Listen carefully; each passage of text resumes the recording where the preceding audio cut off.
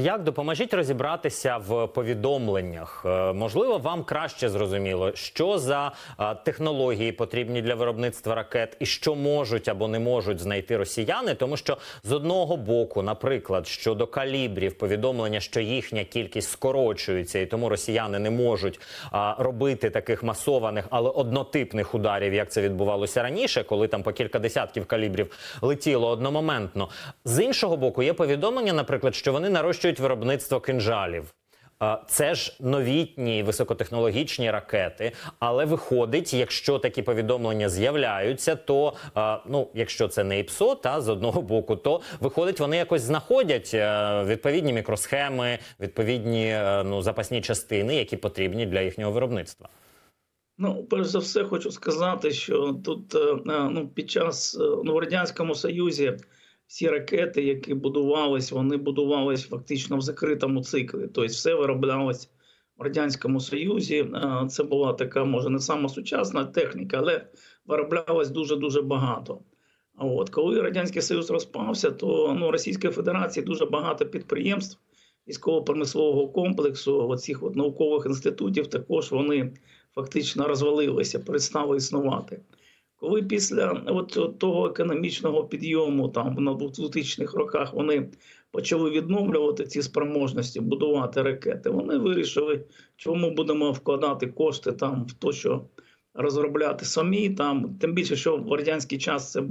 Це в багатьох випадках робилось шляхом просто копіювання західних зразків. Вони Угу. почали просто, е, е, просто покупати е, ну, оці от мікросхеми часто через треті руки, як кажуть, і ставити на свої ракети. І вони, в принципі, вони, я думаю, готувалися до цієї війни в Україні. Вона для них не була новиною 24 лютого минулого року. Я маю на увазі ну, е, ті, хто приймають рішення. Угу. І такі запаси були зроблені. Пане Андрію, І- тобто ви гадаєте, що ось ця заява глави Ростеха Чемезова про те, що росіяни нарощують виробництво калібрів, може мати під собою бодай якесь підґрунтя, що вони пробують наростити? Ну, це була заява відносно кінжалів. Я її Кі- кі- Кінжалів, да, я перепрошую, не калібрів, кінжалів. От по кінжалів я не дійшов. Це було- наступне було моє. Кінжалів їх дуже небагато, розумієте? Їх там порядка, по-моєму, 50 одиниць. І вони їх робили там, може, кілька одиниць в місяць. Мгм. А зараз от була така заява, що значно наростили. Ну, замість трьох роблять шість, розумієте?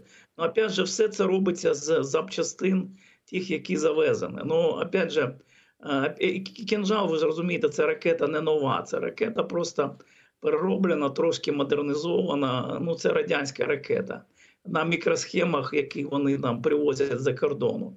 От. Ну, дійсно, її дуже ну, її зараз неможливо перехопити. Я думаю, з новими системами ППО це можливо буде зробити от, західного зразка. Але, ну, звичайно, вона ракета така досить потужна, вона може знищити там будинок, об'єкт якийсь.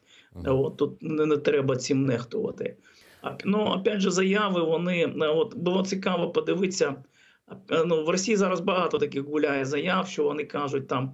От е, вони недавно вони ввели в експлуатацію новий підводний ракетоносій. Там кажуть, що вони зробили зараз перший боєкомплект ракет цирком, там і що щось. Ну, це, це не системне, це такі поодинокі заяви. І, Ну і, і кількість їх ну вона незначна.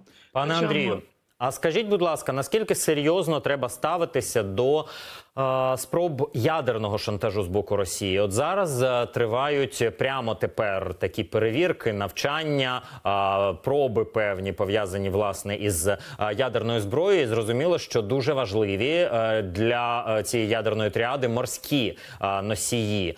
Більше того, от нещодавно був вкид саме щодо кораблів у Чорному морі, що нібито на них завантажується тактичне ядерне озброєння. Норвезька розвідка досить скоро спростувала цей фейк і цей вкид, але тим не менше, ми бачимо, що саме цю тему ядерної загрози росіяни намагаються а, в різний час в різних місцях педалювати і вкидати. Наскільки Ну наскільки це можливо? От можна не помітити, так би мовити, цього, або а, чи ви бачите можливість, що росіяни насправді зважаться ну завантажувати реальну ядерну зброю, робити реальне ядерне чергування, уже не, не навчальне, а справжнє. Ну, перше, я хочу сказати, що ядерна зброя це дуже дуже небезпечно, і навіть тактичний заряд, саме малий, там 5 кілотон, яких ось зараз немає. Це дуже дуже потужна зброя. Вона може знищити ну значні, е, значні території, значні місця. Е, навіть тактичний заряд, ну 100 кілотон, він фактично може знищити велике місце повністю. Е, Значить, що стосується Росії, ну в Росії, в принципі, е, постійно, навіть після розпаду радянського союзу, несли чергування підводні човни з балістичними ракетами ядерними. Те ж саме стосується і ядерних ракет, які базуються на узбережжі. І Це мобільні комплекси, це рухомі комплекси. І це також стосується е, ядерних ракет, які можуть нести авіація. Ну звичайно, авіація вона там не завантажувалась поки. Хоча е, ну відомі місця, де ця зброя вона тримається Російською Федерацією. Що стосується кораблів, ну це повідомлення було норвезької розвідки про кораблі Північного флоту. Потім вони дійсно спростували. Ну я скажу так, що в принципі технічно це абсолютно не проблема завантажити там ракету чи торпеду ядерну. Вона виглядає абсолютно так же, як і звичайно. Тільки, е, ну, тільки спеціальні міри безпеки там. е, Вони можуть е, сигналізувати про те, що це ядерна зброя. Це дійсно дуже дуже небезпечно. Опять же, що стосується Чорного моря, ми знаємо, що є такий сховище ядерного боєприпасу, наприклад, новоросійського. Були індикації того, що вони відновлюють зараз таке сховище в Криму. Опять же, всі кораблі надводні від ракетного катеру е, і вище побудовані і в радянський час, і зараз в Росії. Вони можуть нести таке, таку зброю. І я думаю, що через це якраз розвідки світу вони і настільки активно відслідковують а, можливість оці, оцієї зброї і спілкуються напряму. Ну, канал зв'язку от, між е, Сполученими Штатами і Росією він завжди існує, тому що ну. Тому що ну застосування ядерної зброї може е, мати дуже такі незворотні наслідки, які в результаті яких загине ну дуже багато людей, мільйони Ну людей. не дарма про саме цю зброю говорять, що це зброя стримування, і це той тип зброї, який був винайдений для того, щоб ніколи не бути застосованим. Нехай так і залишається а, в людській історії, і а, ну дуже хочеться вірити, що острах перед ним може зупинити навіть російського диктатора. А, Пане Андрію, я дякую вам за сьогоднішню розмову. Андрій Риженко був на прямому зв'язку зі студією Апостроф ТІВІ. Ми рухаємося до наступних тем.